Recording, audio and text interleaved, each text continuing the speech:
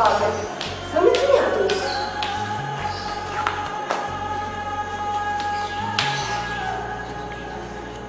सुहेल भाई याद आ रहे हैं।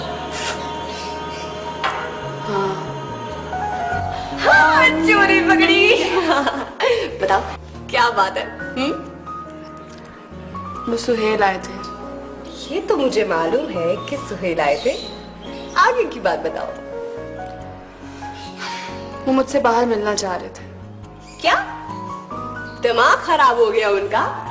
इतनी हिम्मत वाला काम वो कह किससे रहे थे हम्म? इतना तो मैं जानती हूँ। तुम में कम से कम इतनी हिम्मत नहीं है। और यकीनन तुमने इनकार कर दिया होगा है ना? और इसलिए वो मुझसे नाराज़ हो गया। उनकी नाराज़गी की इतनी फ़िक्र थी तो इनकार क्यों किया? बाबा को पता चलता ना तो जान से मार देते। ऐसा कभी ना होता क्योंकि उनकी भांजे की फरमाइश थी। अपने भांजे की इतनी सी गलती को वो आसानी से माफ़ कर देते अरे सुनिए तो सही।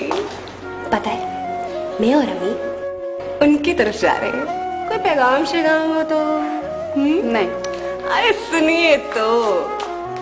सलाम दे दो। अब मैं मारूँगी तुम्हें। अच्छा ये ये जो तुम बन रही है ना ऊपर से हाँ? अब मन में तो उनके नाम के लड्डू फूट रहे होंगे। निदा तुम वो